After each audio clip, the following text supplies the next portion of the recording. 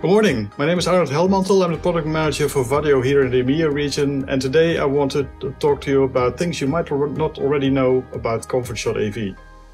So what I, today I want to focus on is the auto standby function of the ConferenceSHOT AV and how you can configure the behavior of standby of the ConferenceSHOT AV camera.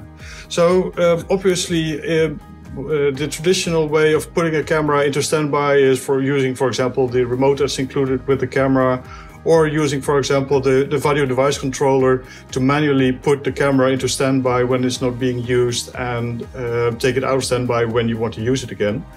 Um, that is the default way that the camera can go in and out of standby. Um, the auto standby uh, configuration feature is something that you have control over what the camera does and when it does. So let's first go into the web interface of the ConferenceSHOT AV. So we're going through the Vaddio Deployment Tool, click the IP address of the camera and uh, go into the system tab in the general tab. So here you can see at the, the top you have uh, three options of um, auto standby. So disabled is the standard uh, function. That means that uh, only manually the camera will go in and out of standby. Um, the other two options is uh, USB on disconnect, which basically means the moment you unplug the uh, USB cable from your laptop, the camera will go to sleep. And when you replug it in, um, it will uh, get out of sleep again.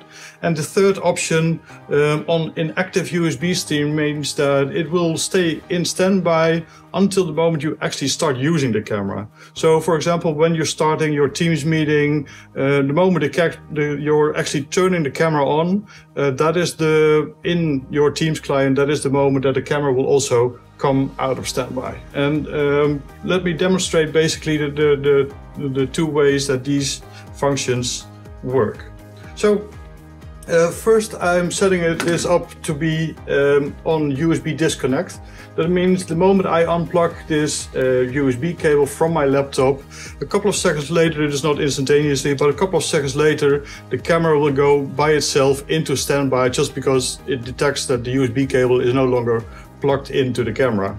And uh, the same thing, if I replug that cable into my computer, the camera will automatically come out of standby and turn on again. So the third option you have is uh, switching on active slash inactive USB stream. Um, as you can see, the camera is now in standby.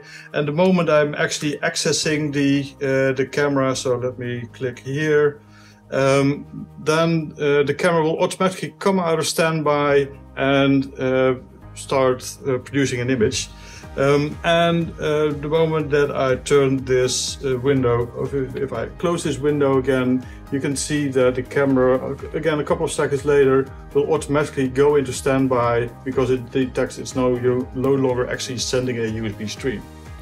So with that, the three options of how you can configure the standby function of ConferenceSHOT AV and um, hope this uh, has been interesting for you um, and hope to see you next time in a different video. Thank you.